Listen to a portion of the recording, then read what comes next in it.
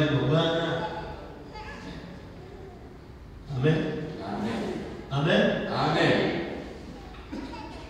Leo tunaanza safari mpya ya soko. Siku mbili zilizopita tulikuwa tunajaribu kuona namna tunavyoweza kujenga msingi wa kujifunza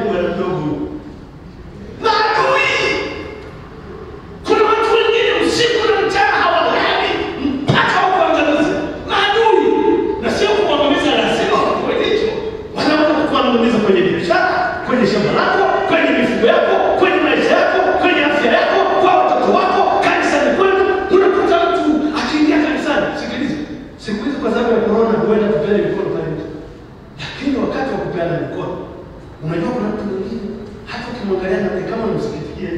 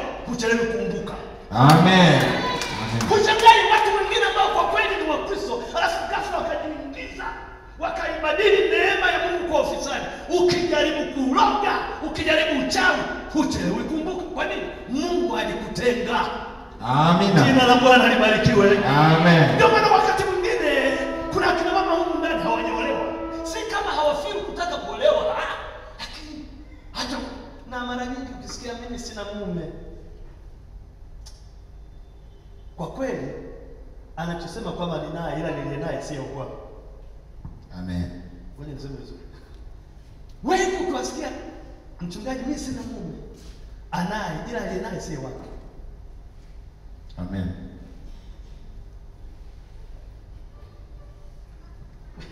Ngoja nipige makofi peke yangu.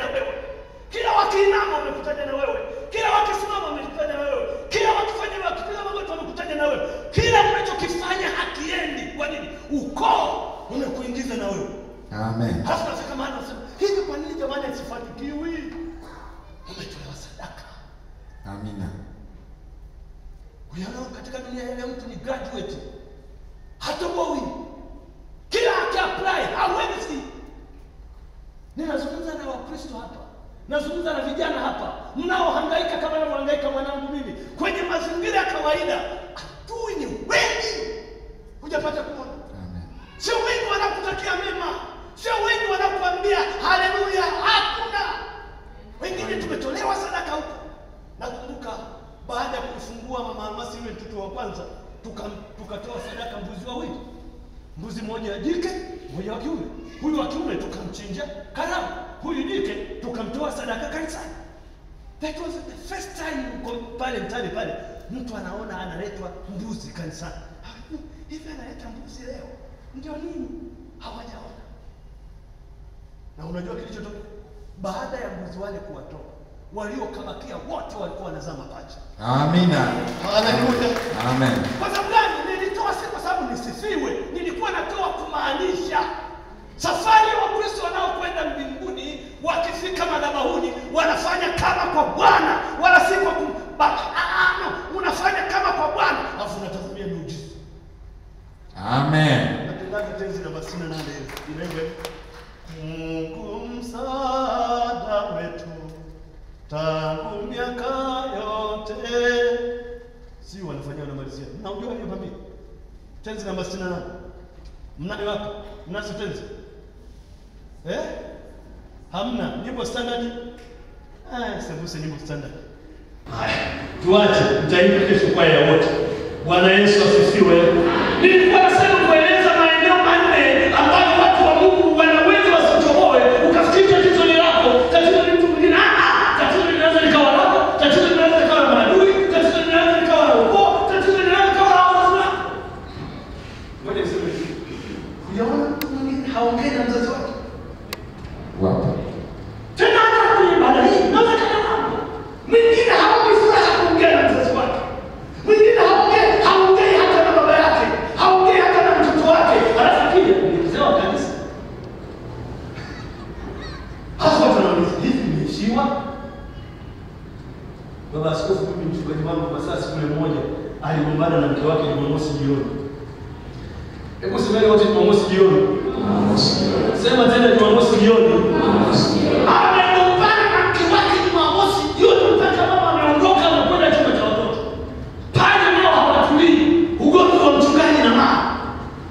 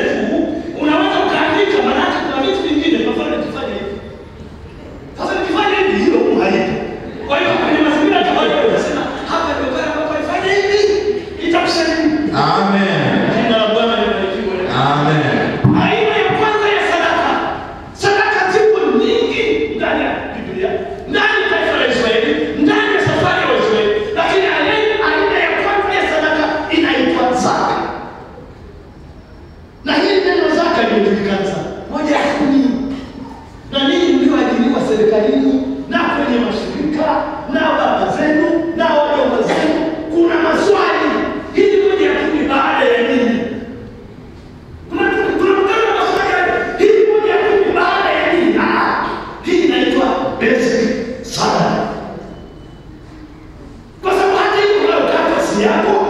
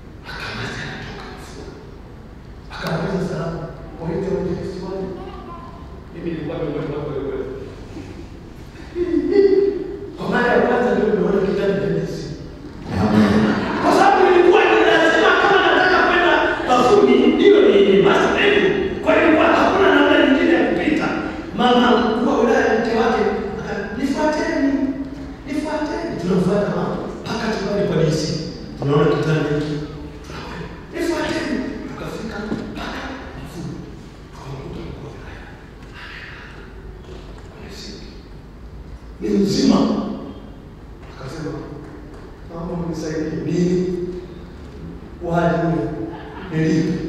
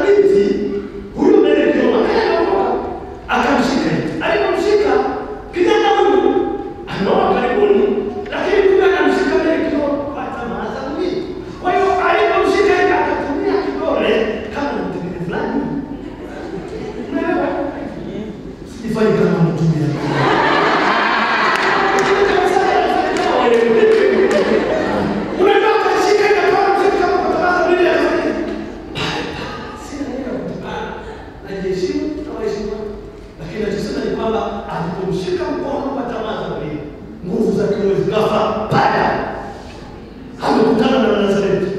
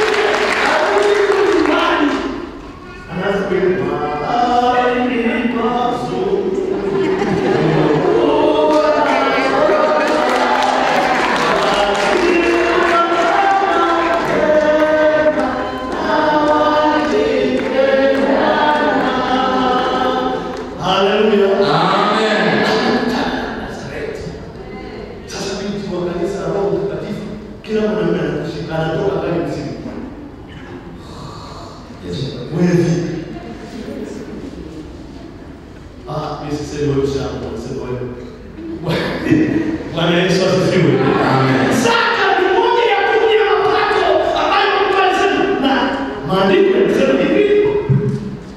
Eh, Malaki tatu kumi. Leteni zaka kamili ghalani ili kila mtu akula katika nyumba yangu. Mkanijaribu kwa njia ya asema Bwana Mwenyezi. Mjue kama sitawafungulia madirisha ya mbinguni. Maana yake kila sadaka ina kazi yake. Amen. Sikiliza, kila matoleo anayoyatoa muumini kanisani yana kazi yake. Kila toleo unalolitoa kanisani lina kazi yake, lina wajibu wake, lina maafa yake, lina mafanikio yake. Kila sadaka unayoitoa, na hapa eneo la zaka anasema kazi ya zaka ni kufungua madirisha ya mbinguni. Unamjua Mungu ana nafasi gani kwa baraka alizokupa?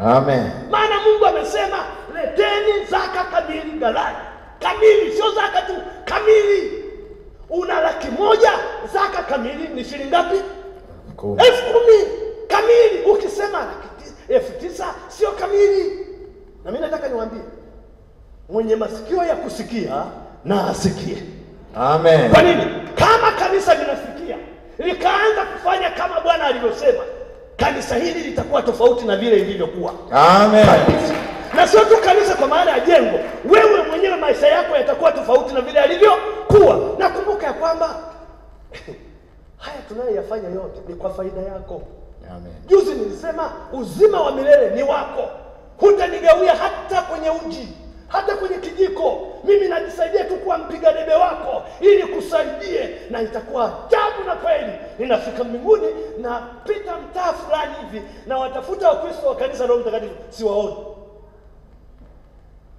Au na wewe nitafute usinione italipa. Hailipi. zaka inafungua madirisha yani washindi wa imani ni wale watoaji wa zaka Amen. haleluya Amen. haleluya Amen. haleluya Amina. na zaka anaitoa nani kila mtu ambaye mungu amempa kupata ni lazima atoe ingawa wakati mwingine anasema zaka iwe shingapi ah, ah, mahesabu ya mbinguni anasema you have to give according to your blessing unatoa kulingana na kubarikiwa kwako Amen. amen Amen. na yesu nampenda sana akasema aliyepewa vingi kwake vitatakiwa aliyepewa kidogo kwake vitatakiwa kidogo. Zaka moja ya kumi ya mapato yako. Wengine hapa hamjui kulima.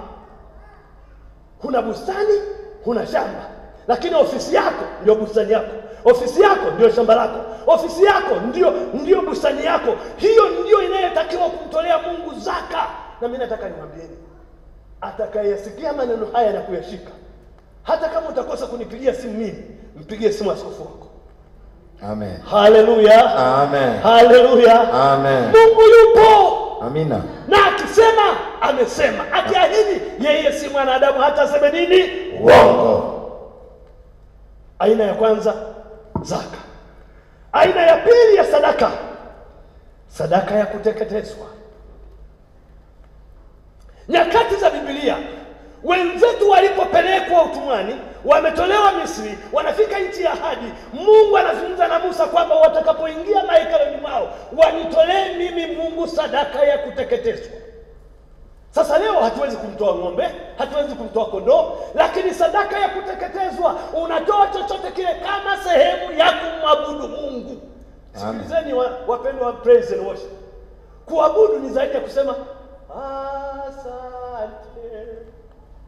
Ah, umefuma macho tu, asante. Sina tatizo na kuabudu, lakini kuabudu is beyond kuimba. Haleluya! Amen. Yaani kuabudu ni zaidi ya kuimba. Amen.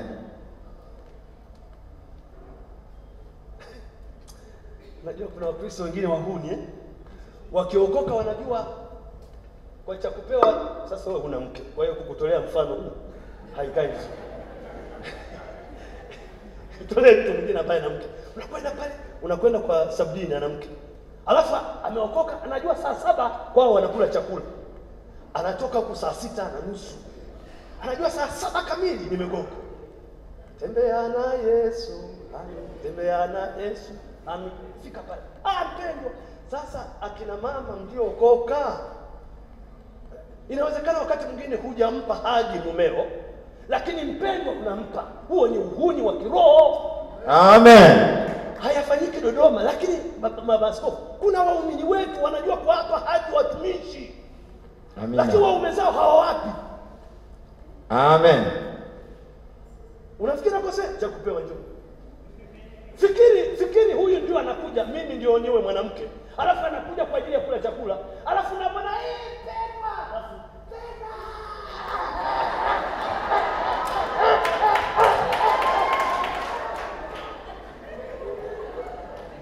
So, niseme nisiseme, Sema. nataka niwaambieni, mwili hauokoki. Amen. Mwili siku zote hauokoki, roho inaokoka ili iweze kutiisha nini? Mwili. Watu wengi wameanguka kwa sababu ya upendwa pesa. Sasa huu ni mwili, hebu sema huu ni mwili. Huu ni mwili. Unajua watu wanaweza kusema sala baba yetu hapa, usinitie majaribuni niokoe na mpendwa huyu. Nimeona watu yani wanapeana hadi wapendwa kwa wapendwa.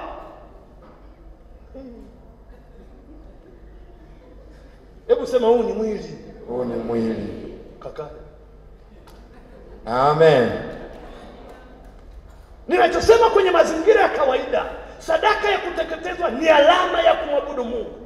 Kwa hiyo Jumapili inapoingia nyumbani mwa Bwana, wewe unaweza kuwa na sadaka ya kushukuru kama tutakavyojifunza, lakini ipo sadaka inayemwabudu Mungu. Hata kama huna sauti ya kuimba, lakini sadaka yako itaimba. Haleluya! Amen. Ngoja nisikilize, hata kama huna kitu kingine cha ulimi cha kumtolea Bwana, hiyo hiyo sadaka yako inaimba Amen. inaabudu Amen. inasifu alafu naisikia kwa kweli leo mimi Mungu yaani mwe- mwili unakuwa mwepesi si ndio? Amina. sadaka ya kuteketezwa ina nia ya kumwabudu Mungu. Swali langu ni hili. Jumapili ulipofika nyumbani mwa Bwana sadaka ulioitoa ilikuwa inafanya nini? Inaabudu inasifu? Nipungie mkono namna jina la Bwana libarikiwe. Amen. Sikiliza. Tena, Biblia inasema hivi, Yesu akajibu akamwambia, kubali hivi sasa, kwa kuwa ndivyo itupasavyo kuitimiza haki yote. Basi akamkubali. Kubali. Wakristo, watu wa Mungu, tukubali. Mimi wakati mwingine namshangaa Yesu na nadhani kifika mbinguni nitamuuliza maana huko nadhani tutaonana macho kwa macho. Nitamuuliza, hivi ulipokuwa unawaambia wanafunzi nendeni mpaka kijiji kinachowakabili mtakuta mwanapunda wakati punda sio wako? Amen. Akaniambia Yesu alikuwa na maana gani? ule ujasiri aliokawa nao kwamba nendeni mpaka kijiji kinachowakabili mtakuta mwanapunda mpunda, mfungueni mletee. Alafu anasema tena, mwandishi mmoja tu ndiye anasema Bwana akiwauliza semeni, anawaja haja nayo. Eh, Wake. wako. Alafu mstari unaonipenda sana anasema, wale wanafunzi wakaenda wakafanya kama Bwana alivyowaamuru. Mpigie Bwana makofi. Amen. Wale wanafunzi wakaenda wakafanya kama Bwana alivyoamuru. Shida tunapofundisha namna hii, kuna wengine ninaweka maswali ah, yaani nitoe zote hizo ah, zote ulizaliwa nazo, si umezikuta? Amen. Si unakuta wakati mwingine akina mama, poleni, maana na mimi nimezaliwa kwa mwanamke mwenzenu. Wakati mwanamke mwingine anachelewa kanisani kuja kanisani, si kwa sababu hakuoga mapema, anaoga mapema, lakini kwa sababu hakujiandaa jana avae nguo gani, na nguo zake zimejaa kabati tangu juu mpaka chini. Kwa hiyo anatoa hii, sio weka hapa, hii ah, sio weka hapa, eh, hii mpaka anapojiridhisha mwenyewe kwamba hii ndio ya kuvaa, amechelewa ibada. Hawapo? Wapo. Ah, semeni tupo. Kama mwanadamu anaweza kuwa na ujasiri wa kuchelewa kwa na mkumbuke ya kwamba yeyote anayevaa nguo havai kwa niaba yake, si ndio? Yaani vyovyote unavyovaa huvai kwa ajili yako, unavaa kwa ajili ya wengine. Kama unabisha, kwa nini unakwenda kwenye kio? Hebu nipungie mkono namna. Haleluya, haleluya. Amen. Kila mtu anayevaa nguo havai kwa ajili yake, anavaa kwa ajili ya wengine. Hii suti mbona jana sikuiva Na imenisumbua, nimevaa. Nikaenda kwenye kioo na hii hapa nadhani handsome boy no. Lazima nivae kwa ajili ya wengine. Amen. Kwenye mazingira ya kawaida tukifanya mambo tunafanya kwa ajili ya Bwana. Haleluya. Amen. Kwenye mazingira ya kawaida Mungu anatusaidia kutoa sadaka ya kuabudu, inasifu, inahimidi, inatukuza Mungu, alafu nasikia kabisa nimeingia nyumbani mwa Bwana. Nimeingia nyumbani mwa Bwana. Amen. Nimeingia nyumbani mwa Bwana. Nimeingia hekaluni mwake. You feel comfortable. Amen. Na mimi nataka niwaambie, kama una mazoea ya kutoa sadaka lakini hujisikii maumivu, huo ni mchango. Unafikiri nakosea? Kama kuna roho ya Mkristo yoyote inakuja nyumbani mwa Bwana, wanatoa sadaka lakini you don't feel pain anything, yani you are okay, that's not offering at all, ni mchango tu. Sadaka inateketeza, inaunguza, una maumivu, ukigeuka unageuka na muujiza wako Amen. sadaka ya kuteketezwa inaabudu. Sio hiyo tu, aina nyingine Hey, hapa pazuri, sadaka za amani. Hebu sema sadaka za amani, Sadaka za amani. sema tena sadaka za amani. Sadaka za amani. Biblia inasema hivi ah, nena na wana wa Israeli waambie, yeye asongezaye dhabihu yake ya sadaka za amani kwa Bwana atamletea Bwana matoleo yake kutoka katika ile dhabihu ya sadaka zote za amani, mikono yake mwenyewe itamletea hizo sadaka, sadaka za amani. Mimi nataka niwaambie, tupo hapa wote, lakini si wote wenye amani. Juzi niliwaambie kuna wengine mmezaa huko ndani, hamjaonja furaha ya kuzaa kwenu. Amen. Wengine unatamani unasema, hivi mtoto wenu nilimzaa mimi huyu, hanijali. Na ngoja niwaambie akina mama wengine hapa, mkiolewa na waume na waume zao, waume zenu walikuwa na tabia nzuri kwa wazazi wao, wewe unakuwa sababu ya kumgeuza mume wako. I'm telling you truth, what you are doing is very very wrong. Usimgeuze mume wako kutompenda mama yake. Sikiliza, ziwa la kwanza aliyoliona mume wako ni la mama yake. Mgongo wa kwanza aliyouona mama yake mume wako ni wa mama yake. Kidole cha kwanza alichokishika mume wako ni cha mama yake. Haleluya! Amen. Unajua kuna watu wengine yani unakuta wanasema mume wa mtoto wangu mimi yani alikuwa mzuri, lakini tangu amemuoa mwanamke yule shughuli afu unasema hakuna mtu hapa, na ukitembelewa na mkoo wako ndio unakasirika. Mbona ukumzaa mwenyewe? Sadaka ya amani Amen. na watu wakijua ya kwamba tunatamani kuwa na amani, watakwenda nyumbani mwa Bwana ukiwa na sadaka ya nini? Sadaka ya amani.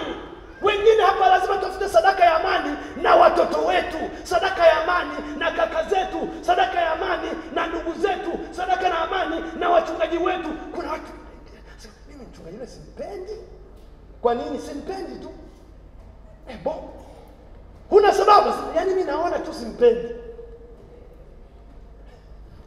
na mimi nataka niwaambie sasa, wameondoka wote hapa. Kama ingekuwa Wakristo hawa wanabandikiwa pale tangazo nje, Jumapili ijayo anatoa ibada fulani, wengine wasingekuja. Amen. Ngoja niseme tena, yaani kama mngekuwa mnapata matangazo pale nje, imetangazwa mchungaji fulani ndio atahubiri Jumapili, wengine msingekuja. Na wengine huwa ninarudia mlangoni, mkisikia sauti tu, nani huyu? Ah, ah, basi narudi. Lazima Mkristo atafute sadaka ya amani, na Mungu anasema hivi, tafuteni kuwa na amani na watu wote. Unajua, nilipokuwa nafikiri mambo haya chumbani, nikasema kwa nini mwandishi aseme tafuteni kuwa na imani na watu wote? Anasema tafuteni kuwa na amani, amani, peace of mind, amani na watu wote. Unakuta watu wengine wapo kwenye kwaya moja hawasemi, Amen. yaani unakuta hapo wanaimba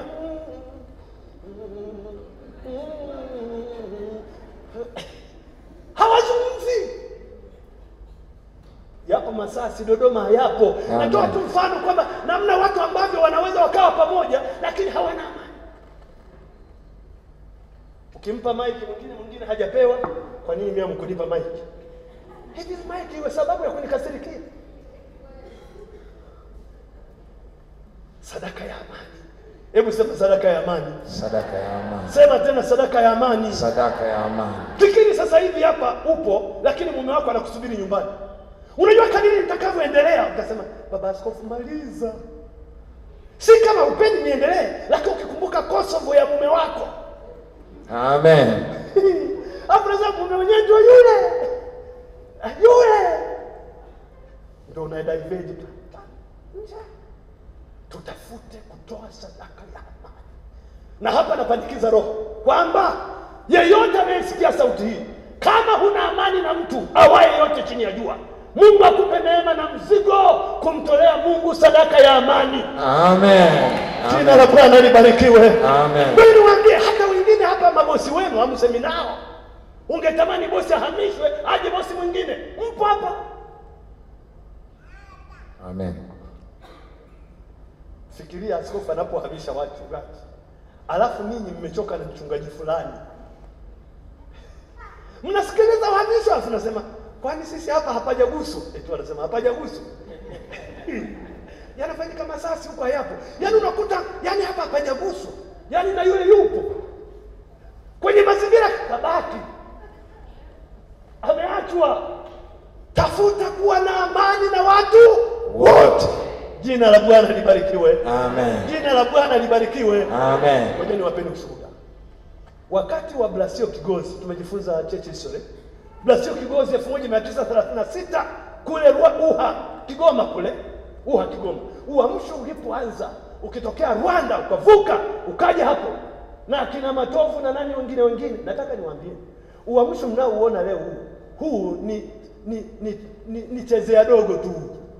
Amen. cha mtoto. Uamsho ulipokuwa unaanza elfu moja mia tisa thelathini na sita Uha Kigoma kule, mtu anazini leo na mke wa mtu hapa, alafu kesho anahubiriwa Injili, anaokoka, alafu anafuata mume wa yule aliyezinia mke wake, ambia unanijua mimi eh, mimi naitwa James Almasi. Jana na juzi nimezini na mke wako, jana nimeokoka, naomba unisamehe. Unafanya nini? Unajua watu wengine wakiona uamsho wanafikiri kama tumetoka toka kiurahisi rahisi. Mambo ya uamsho yalipoanza yalikuwa magumu. Nendeni Kigoma huko, hata hapa DCT hapa, wazee wenu wa kwanza ilikuwa ngumu. Unaiba shamba la mtu, unahubiriwa njini unaokoka, asubuhi unamwendea uliyemwibia. Mahindi uliyoyaona yamevunwa yale nilivuna mimi, lakini jana nimehubiriwa, nimeokoka, naomba unisamehe. Fikiri kama tuna mwanakwaya humu ndani ni ajenti kuishi na waume za watu, alafu unahubiriwa Injili, alafu unasema mama nani, nisubiri. Ndio unamwendea mke mwenzio, nisubiri, si unanijua mimi eh. Juzi mmeo alipochelewa pale, ndio nilikuwa naye mimi. Jana nimehubiriwa Injili, nimeokoka, naomba unisamehe. Tuna mtu mwenye ujasiri na mimi hapa. Hakuna. Simama kama una uwezo wa kuwa na ujasiri, simama. Hapa ndipo tunapotafuta kuwa na sadaka ya amani. Haleluya! Amen. Tafuta kuwa na sadaka ya amani, jipange sawasawa kwamba Mungu nakutolea wewe sadaka ya amani kwa ajili ya watoto wangu. Unaonaje kama upo hapa afu hujui mama yako alikula nini? Mpo hapa wengine, wazazi wenu wapo kijijini, hamjui hata wanakula nini, kisa upo jijini Dodoma. Unajua mimi napataga shida. Ngoja nikwambie, mimi nimeoa, lakini sitaki kuapia. Nimemwambia mama Faraja, kunipenda unipende, usiniondolee upako wangu na mama yangu. Amen. Amen. Yaani hakuna mtu anayeweza kuchukua nafasi kwa mama yangu. kabisa. Na Mungu mwenyewe alisema asiyewatunza wa kwake ni mbaya kuliko asiyefanyeje, asiamini. Kuna watu wengine humu ndani kabisa, una yani una vyote, lakini mama yako na kipimo cha mtu wa Mungu kitaonekana kwa kadiri anavyowajali wazazi wake. Pigie Bwana makofi. Jina la Bwana libarikiwe. Amen. Sadaka ya kuteketezwa, sadaka ya amani, watu wa Mungu. Sio hilo tu, baada ya hapo kuna sadaka ya shukrani.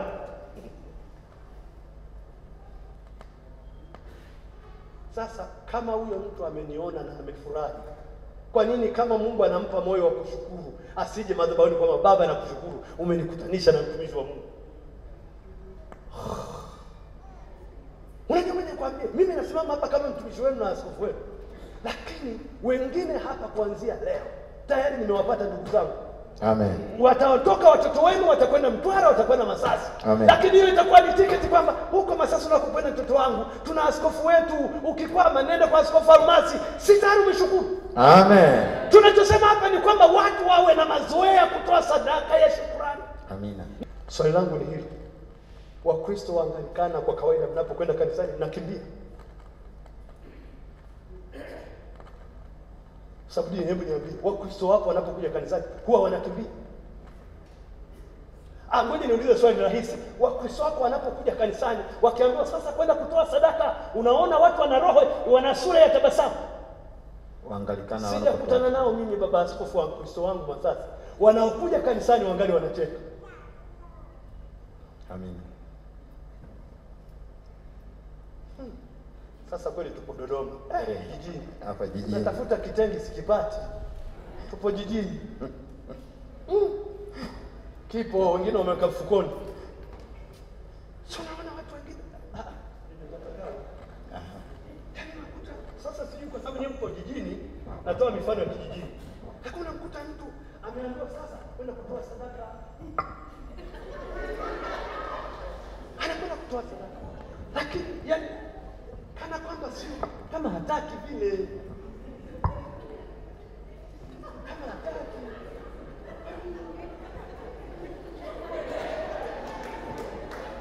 mpigie makofi. Amen. Kwa nini? Yaani umeingia nyumbani mwa Bwana kama utaki vile, kama umelazimishwa, Ametoka udini. kama umetoka udini vile, yaani hakuna kitu cha kukufurahisha. Ndio maana ndio maana yule yule yule yule yule yule yule ile familia, acha. Kwa hiyo yule yule yule baba yule akaamua kumkumbatia mke wake. Si mnakumbuka nilivyowaambia ni juzi? Akaamua kumkumbatia mke wake, alafu akabadilisha wimbo, yote ni mali yake Bwana, yote ni mali ya. Sasa kwenye wimbo wa namna hiyo lazima uchangamke eti. Amen. Yaani hata kama hutaki, kusema. hata kama hutaki, kuna namna ya muziki unavyokuambia changamka. Hebu nishike, itakusumbua. Yaani wana sasa huyu ana ndevu. Bwana Yesu asifiwe. Mpigeni Bwana makofi. Lakini nilikuwa nasema hapo kwamba yani wamechukuana na mke wake wanakwenda madhabahuni kwa Bwana wakiwa na moyo uliochangamka, moyo uliofurahi. Maana yake sasa wanakwenda kumtolea Mungu sadaka ya shukrani, sadaka ya amani, sadaka ya kuteketezwa, sadaka ya zaka. Sio mzigo kwao, ni amani. Amen. Haleluya, Amen. haleluya. Amen. Tukikuona Jumapili, nipo hapa hapa Jumapili, na hapa kwanza ninao kuja kuja kila siku, sinawajua sura zetu. Nikikuona unakuja tu mbele mbele, mm, ambia we rudi. Waliokwenda jeshini wakiambiwa mguu pande, ukiambiwa mguu pande, huu mguu utakwenda hivi, lakini mikono lazima iwe wapi? Nyuma. Ndio taratibu ya jeshi. Amen. Ukiambiwa mguu sawa, eh, weka hapa, alafu inatoka kitu kinaitwa kwa Kiingereza kakacha, nakaa hivi kabisa, inatoka Amen. hapa. Ni kama vile kabla ya mafundisho haya ulikuwa mguu pande. Amen. Haleluya, Amen.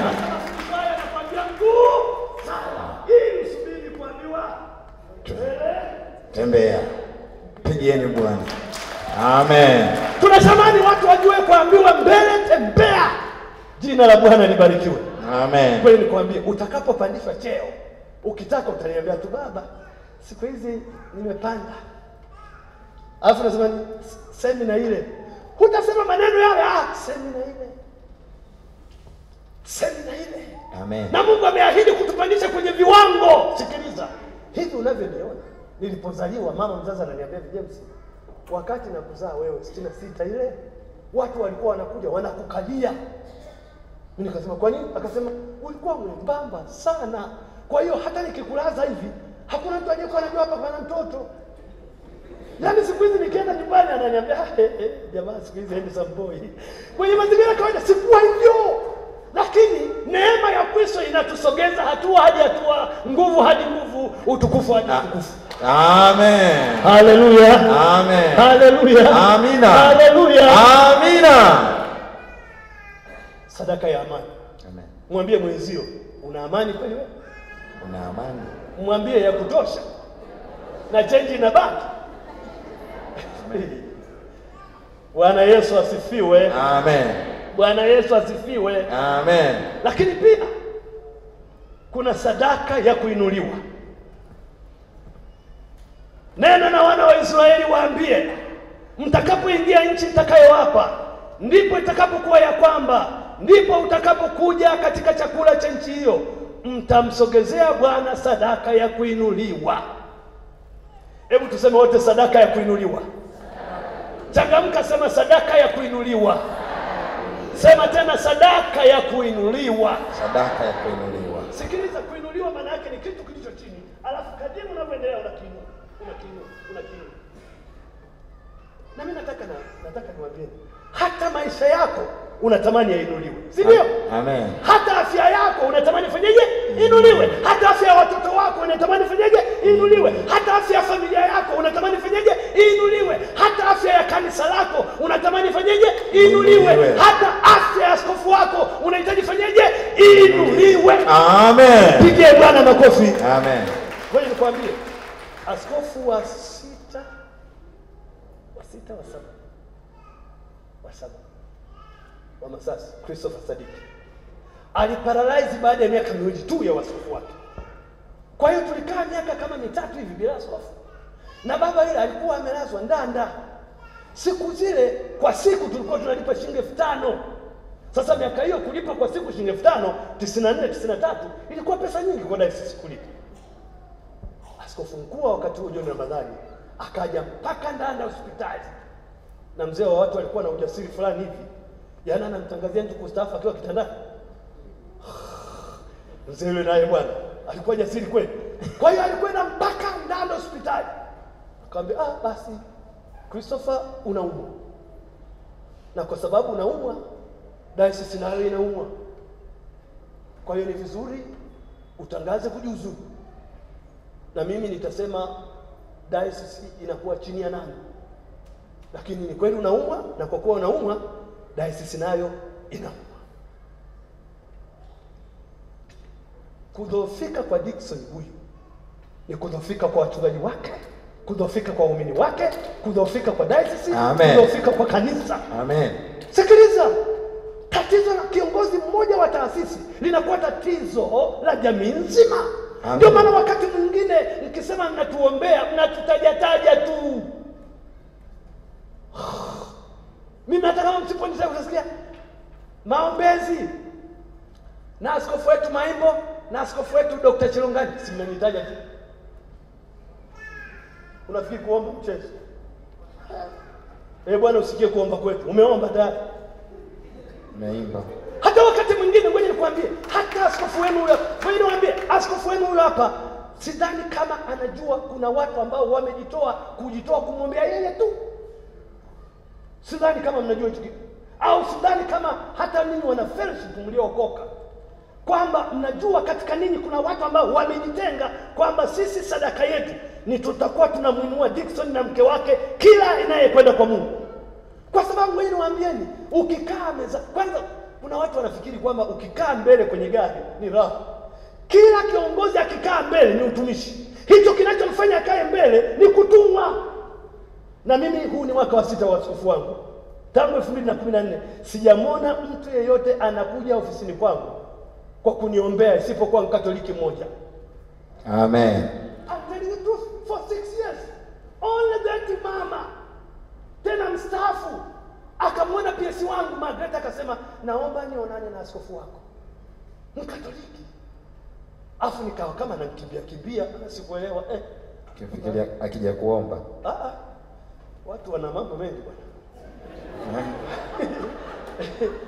Maana si wanasema ikimbieni zina. Kuna vitu vingine lazima ukimbie. Kwa hiyo nilikuwa najaribu kama kudaiveji hivi. Siku moja akamwona akasema wewe mwone askofu wako nataka niongee naye? Baadaye nikamwambia ah mruhusu mwambie afike saa sita. Akafika saa sita kasoro dakika tano. Inagongwa Angela sile tu.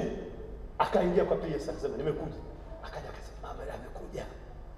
nikamwambia mwamruhusu aingie akaingia akakaa baba askofu amekaa two hours lakini kumbe alijipanga ana ana vichekesho kama nane hivi. Yaani akasema nikifika hapa nitasema hiki atacheka. Akimaliza nitasema hiki atacheka. Mpaka nitakapomaliza nitamwaga. Na ndivyo alivyofanya ameingia tu pale. Baba askofu nimekuja kukusalimia. Eh alipokizungumza ameongea kibwagizo fulani nikacheka. Akasema bado tumeongea akaweka kibwagizo kingine nikacheka. Alipomaliza vichekesho vyake akasema katika uaskofu wako hakuna mtu wa aina yangu mimi. Kila anayeingia ofisini kwako anakuletea mizigo. Mimi niliona nifike nifanye moyo wako changamke tu kwa kuchekesha namna hii ngoja nikuombee. Nikapiga magoti mkatoliki mbona waangalikana hawaji? Amen. jina la bwana libarikiwe. Bwana Yesu asifiwe. Mpigieni Bwana makofi ya shangwe. Bwana Yesu asifiwe. Bwana Yesu asifiwe. Hivi mnaweza kuitikia kwa nguvu kweli? Bwana Yesu asifiwe. Hey, mjue kwamba hapo tu kuna watu wanatusikiliza. Bwana Yesu asifiwe sana. Amen. sadaka ya kuinuliwa kunena mbele za mungu juu ya kuinuliwa kwa kazi za mikono yako unapoitoa sadaka hiyo ya kuinuliwa vizuri ukaitamkia na kumwambia mungu juu ya hali yako uliyopo na unayoomba haki ya mungu utapandishwa zaidi.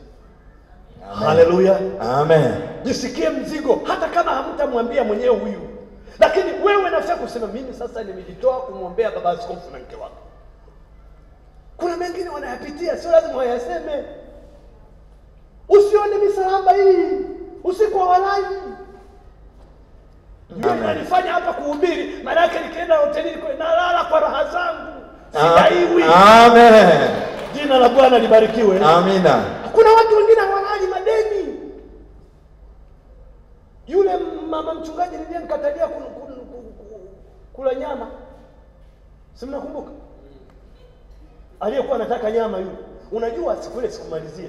Nilimkatalia tusinunue nyama kwa sababu nilijifunza kanuni ya kiroho juu ya matumizi ya fedha kanuni ya kiroho juu ya matumizi ya fedha inasema unacho usichukue kuna fedha usinunue. Kuna akina mama humu ndani mnadaiwa vitenge. Ngoja niseme vizuri niwe mpole kidogo.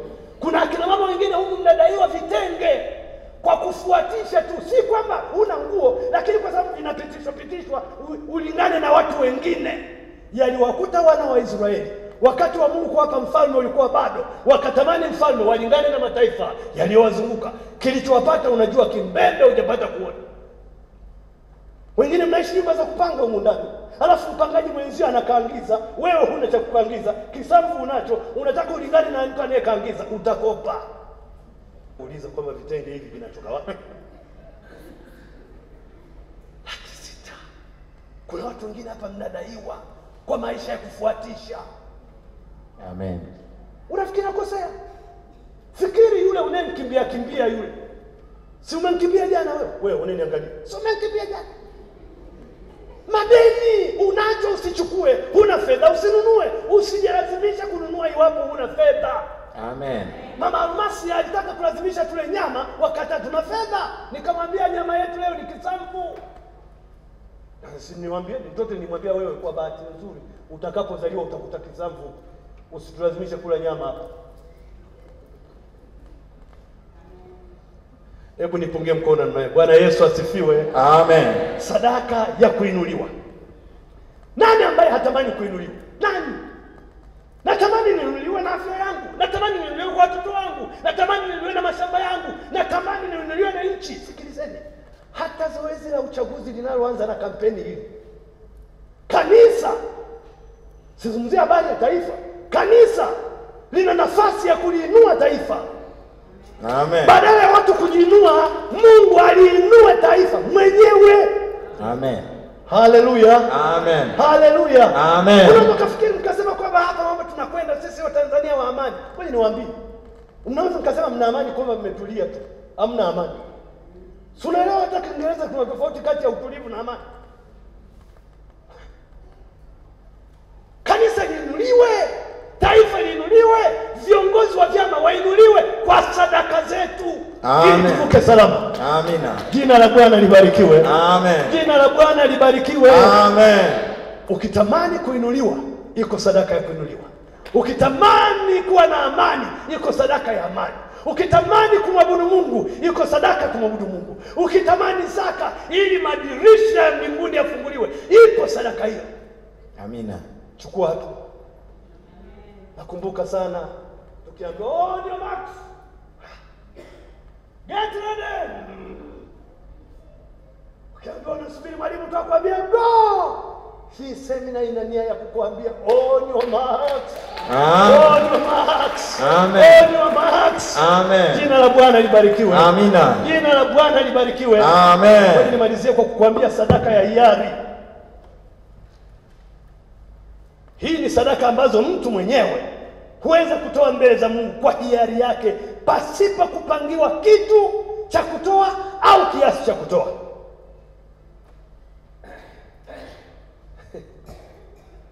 Ndio maana unakuta mtu anasema mimi leo nitatoa ng'ombe, sadaka hiari ina msukumo wa ndani mwenyewe. No, hakuna mtu anayeshawishi, yaani Roho Mtakatifu anashawishi. Alafu mwenye nikwambie baba unajua nini watu wa raha sana. Hili kanisa linaitwa kanisa kuu la Roho Mtakatifu. Kwenye dayosisi hakuna kanisa kama hili. eti hamwezi kuwa na makanisa makuu mawili ya ya Roho Mtakatifu. Yaani hii ni cathedral inaitwa kanisa kuu la Roho Mtakatifu. Kwa hiyo Roho Mtakatifu yupo hapa kutuongoza, kutufundisha, kutuelekeza, kutuwajibisha, kutu... yani Roho Mtakatifu. Kwa hiyo ukifanya unafanya kwa sababu Roho Mtakatifu yupo. Ukiimba unaimba kwa sababu Roho Mtakatifu yupo. Nikikusaidia unanisaidia kwa sababu Roho Mtakatifu yupo. Nikikusifu ninakusifu kwa sababu Roho Mtakatifu yupo. o mpigie Bwana makofi. Amen. Sikiliza, hii ndio ka- ngoja niwaambie. Wakati wa ungamo, kuna maneno yanasema hivi. Nipe nguvu ya Roho Mtakatifu wako. Nikushike mwenendo. Amen. Unipe nguvu ya Roho Mtakatifu wako, ni ushike mwenendo mpya. Nani ambaye hatamani kutembea na mwenendo mpya? Nataka nikuache kwa kukuomba na kukusihi kuanzia Jumapili, Jumatatu, Jumanne, Jumatano, tukue tukue tukue tukue tukue na kuongezeka imani, tukue na kuongezeka imani. Hiyo ndio raha, ukuwe na kuongezeka nini? Imani. Sisi ukwetu kule wa, ma, Masasi, ukimzaa mtoto unahesabu mwaka wa kwanza, wa pili, wa tatu, wa nne, hatembei. Ah, mnajadiliana na mkeo kwamba hapa bwana, huyu hatembei, tunitafute mwingine. Sijui wagogo mnafanyaje, lakini kuna kwaga tunapatana. Kwa nini hakukua? Tukisubiri atembee huyu, na wakati tunataka kujaza nchi, tuongeze upili. Wakristo tukue na kuongezeka imani katika jina la Yesu. Amen. Tembea katika nguvu ya neno la Mungu, kwa sababu hivi ulivyo ni kwa sababu ya neno. Amen. Hizi lockdown hamuzisikii, hamuzioni, hamwambiwi, vyombo vya habari haviwasaidii. Tukue na kuongezeka nini? Imani. Mi nataka niwaambie, namalizia, sadaka ni mlango Amen. kabisa. Sadaka ni mlango. Umewahi kusikia askofu anatembelea kwenye parish fulani kwenye Kipe Mara, mboga ikawa kisamvu? Hakuna. Dickson. Kwanza kwanza ukisikia yani mpaka wanyama wale wanakuwa na hofu. Mbuzi wanakuwa na hofu, kuku wanakuwa na hofu.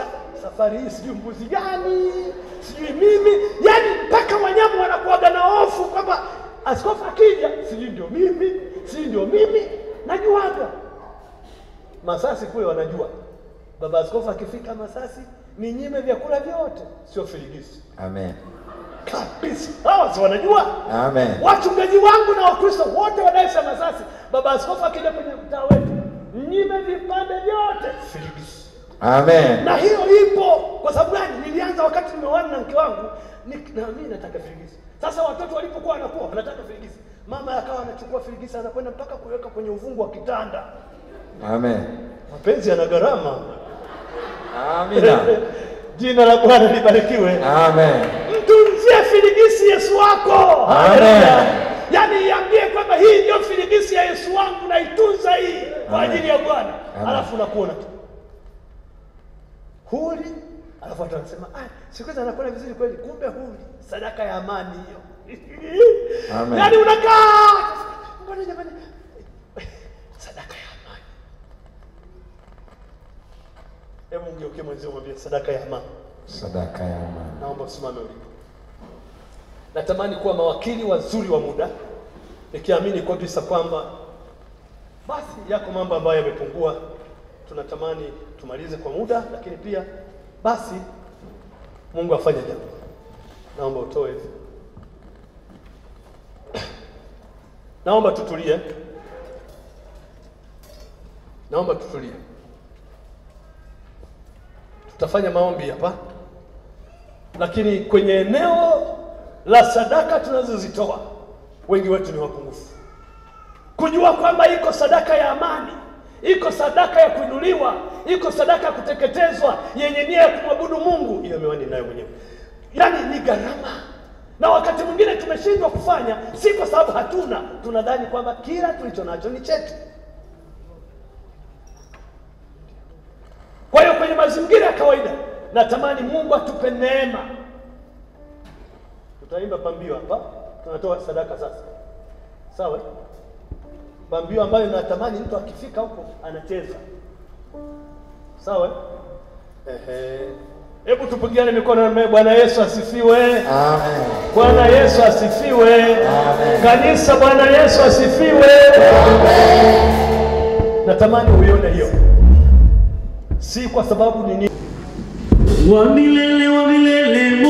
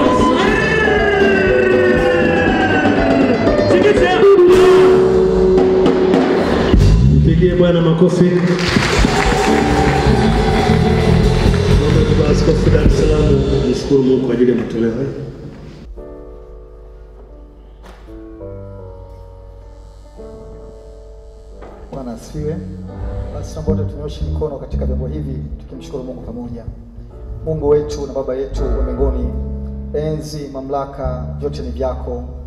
Mbingu na nchi ni mali yako. Mbinguni ni kiti chako, mahali pa dunia ni pa kuweka miguu. Vyote vijazavyo ulimwengu, Mungu, ni mali yako. Hatuna cha kukupa Bwana, kwa sababu wewe ndiyo uliyetupa. Lakini Jehova, angalia mbele yetu Mungu, viko vipawa hivi ambapo Mungu tumevisogeza mbele ya madhabahu yako tukifahamu Jehova ni sehemu ya jinsi ambavyo Mungu umeweza kutubariki kila mmoja wetu katika kazi zetu, katika biashara, katika kilimo, katika mifugo.